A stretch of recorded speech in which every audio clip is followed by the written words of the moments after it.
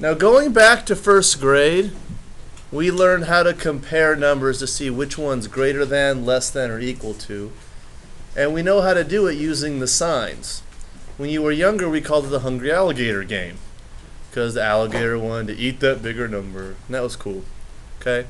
But back then, we were only doing it with numbers that had digits in the ones and tens places 34 and 26, 8 and 3 when we have numbers like these that go all the way up into the millions, we have more steps we have to go through.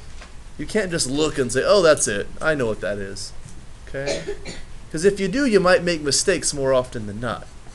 So we're going to have about two or three steps to go through to figure out which one is greater than or less than or if they're equal in this in this in this problem. Okay? Step one is see which number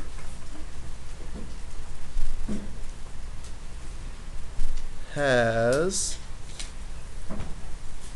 digits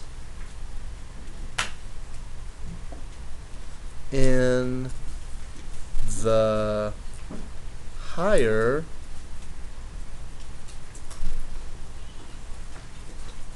place value spot. Okay. So see which number has digit in the higher place value spot. Because let's see, watch, I'm, I'm going to show you something real quick. What if I had 304 and 96. I already know this one's greater because it has ones that go all the way to the hundreds place, and this one only has ones that go to the 10. Because even though 9 and 6 are bigger than 3 and 0 and 4, this one has a number in a, in a higher place value spot. Okay, so it's easy. Okay. But a number that's big like this, we have to look. What's the highest place value in this number right here? What is it? Justin. Um, It goes all the way up to the what place? Hmm, Dominic. the millions? The millions. Well, now let's look at this one. It goes all the way up to the what, Tony? The millions. They both go to the millions, don't they? So can we figure it out just by using step one? No, we can't. It'd be nice if we could, but in this one, that's not going to happen. Okay? So let's go to step two. Start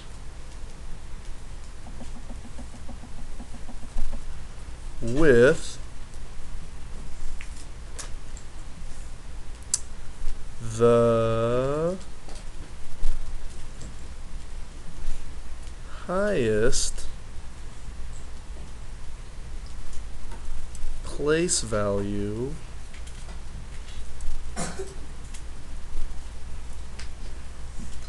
and compare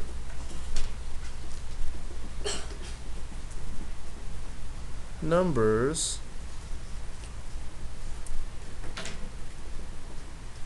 until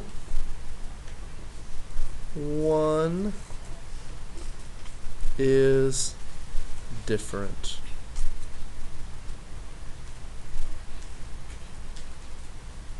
Okay, so I'm going to start with my millions. What numbers in the millions place on this one? Show me on your fingers.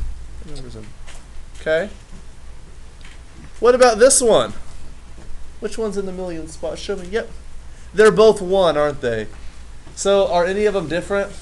No. So let's go to the next one. The next one is our hundred thousands. Is either of them different on this one? No. They're both what? Same. And what? Yeah, they're both the same. They're both twos. So we gotta keep going. Which digit is this one? They're both what? They're both Five. fives. Is one of them different? So right now the numbers are, are the same. So I got to go down to the thousands place. Wait, six and four. Hmm, are they different or are they the same? They're different. So, once we find one that's different, we then put in the less than, greater than, or equal to sign. So, is 100 or 1,256,031 greater than, less than, or equal to 1,254,904?